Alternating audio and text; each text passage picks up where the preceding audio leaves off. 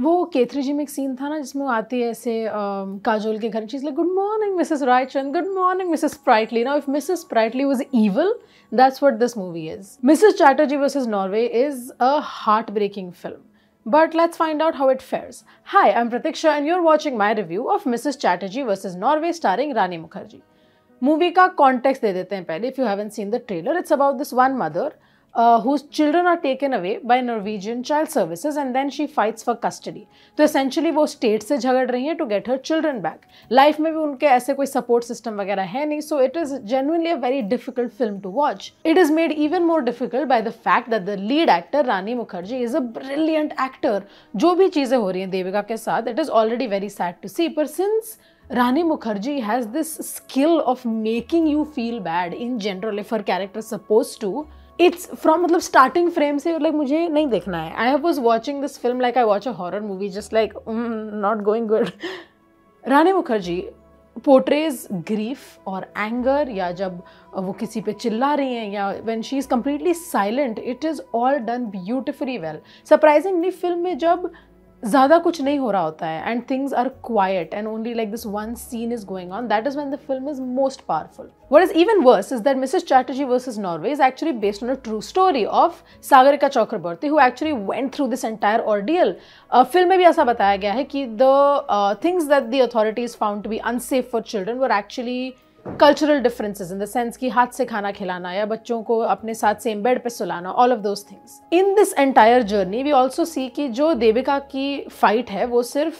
Norwegian system से नहीं है. She is also fighting with her husband who is Uh, practically indifferent most times and at worst he is very much abusive. Uske the husband's parents are no better so there's essentially this patriarchal system that she's also fighting. Uske sath sath unka language barrier hai since she's in a foreign country and for that same reason she doesn't have a lot of friends here either. So this battle which is already very terrifying has become so isolating also. Jitna devika is fight mein akeli hoti jati hai wo feeling audience tak bhi transfer hota hai the film in the first half is actually quite amped up मतलब ऐसा लगता है कि बहुत ज़्यादा कुछ हो रहा है। And not in the sense of the story obviously story में बहुत कुछ हो रहा है but it just seems like too much for the audience to take in और ये इसलिए भी होता है क्योंकि बैकग्राउंड स्कोर जो है is unnecessarily very loud in places कुछ कुछ जगह जब बैकग्राउंड स्कोर ज़्यादा नहीं होता है there lying it on the story to take itself forward तब फ़िल्म में मज़ा आता है। मज़ा in its still sad but like as a film going experience Mr. Strategy vs. Norway is directed by Ashima Chibbar and is divided essentially into two halves.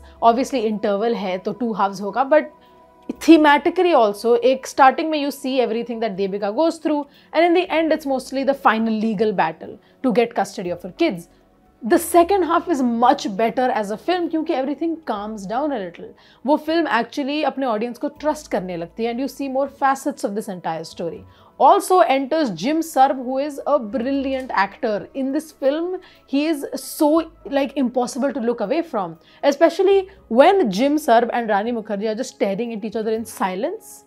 Favorite part of the film. Devika's lawyer, played by Balaji Gauri, is also a very welcome presence in the film. She really uplifts everything when she enters. Film का सबसे बड़ा flaw ये है कि वो इतने सारे जो themes हैं ना, it only touches upon them. वो ज़्यादा ऐसे deep understanding में नहीं जाता. अगर वो करते तो the film would have been much better. Like it's a pretty decent film. It's not a bad film, but it could have been great.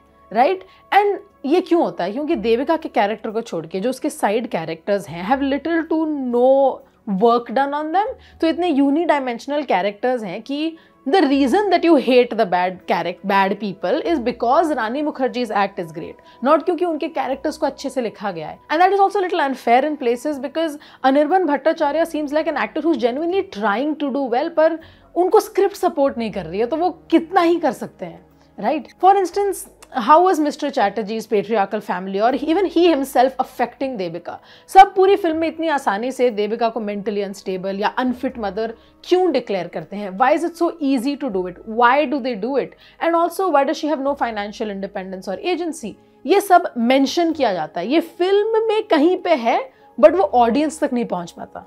Even like the Norwegian authorities या जो child services से जो दो औरतें आती हैं घर से बच्चों को लेके जाने के लिए इवन देन उनके एक्शंस उनके reactions also become so predictable कि लाइक हाँ ये तो अब यही करेंगे। So that's the thing right मतलब फ़िल्म में दूसरे कैरेक्टर्स के लिए सपोर्ट नहीं है कोई भी for them to actually perform well Jim Sarbh's character for instance जिनका नाम है Daniel Singh Ciupek he is a lawyer that lives in Norway उनका थोड़ा बैक स्टोरी में हमें एक ग्लिम्स मिलता है। And he's trying to make a great point also. He's making a point that while Debika herself is a great mother, it's not right to assume that all parents throughout the world can provide like a safe and nourishing environment for their kids. लेकिन ये point बनते बनते ही story में गायब हो जाता है. And that is again I think the biggest instance of how the screenplay century does not play out well for the film. At the end of the day, Mrs. Chatterjee versus Norway has a lot of promise as a film. Story खुद में इतनी compelling है, इतनी heart breaking है कि the audience is already signing up for that.